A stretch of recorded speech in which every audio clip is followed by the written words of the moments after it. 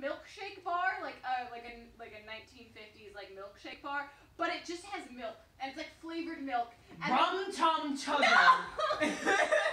is a curious cat who likes who has a foot fetish and almost took some cat fucking toes. This movie is PG. This movie is PG, and he fucking holds her foot up and he goes like, ah! He does that, and then he. Jason Derulo. Jason Derulo wants to suck some cat toes, but they look like normal toes, just like painted over Did you white. forget how horny Taylor Swift's character was for fucking? All of them, all Do of you them mean were horny. Bombalurina? Bumble, Is that her that is her name? name is Bombalurina.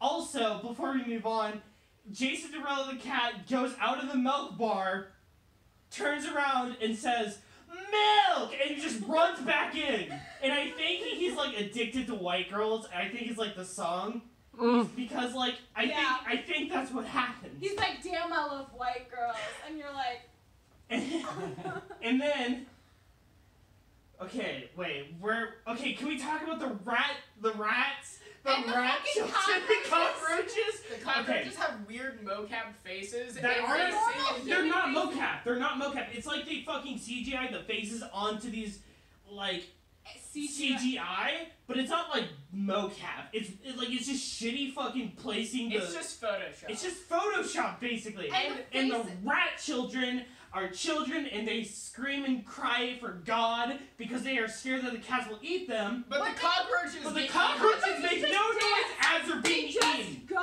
They're like dancing in dance, lines. and then they get eaten, They get eaten and, and then by they, the two fat the characters. crotch.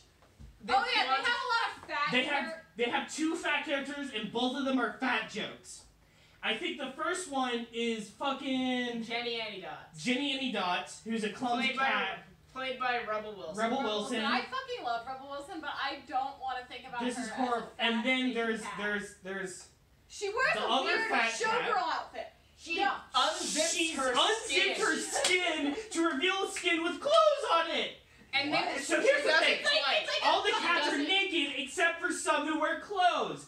But Oh my god, can we talk about but fucking? when the cavity wears cavity- clothes and then he takes his clothes off, he he just looks like naked. a fat. He looks like a fat naked man. He But just- also played by Idris Elba, one of the hottest men in the entire world, and they made him look like an ugly fat. And they also cat. they And also it, make and the makes, fat. and it flips a switch where you're just like everybody You is can now see naked. Everybody face. is naked, and also the it is plot important that this character can literally fucking. Re- she does this multiple times where she zips off her clothes, And it's a plot. and it's a plot It's point. like a plot device. It's a plot device, and then they move on, It's like a Chekhov's gun. and there's this other fat cat who likes to eat. who Buster, Bustopher Jones. Bustopher Jones is a piece of shit. I hate Bustopher How the Jones. fuck do you remember all these character names? How do you know that they didn't even say them most of the time? They didn't because they're like secret cat names. They have secret cat names. Oh, They yeah. have, oh, cats have They have names. three names. Cats They're, have they're like the human owner names. The owner name. Then they have their like, you know, their their cat names. Their and then dumb they have cat their fucking name. like inner self cat name, which they cannot tell anybody. But they can only express through interpretive dance. They can only express through interpretive Yes. dance. She does a dance on like a coffin.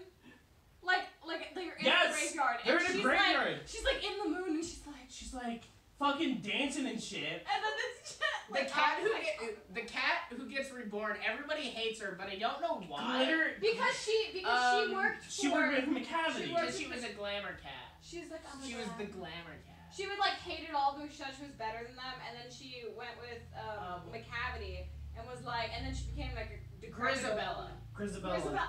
Did, did anybody, did anybody else feel like maybe I don't know for for me personally it felt like ninety percent of the black cats were evil Oh yeah. and I feel like that's just not like like all the white cat characters are really good No, Taylor Swift's a white cat character, and she's just. but a even whore. then she's just horny not.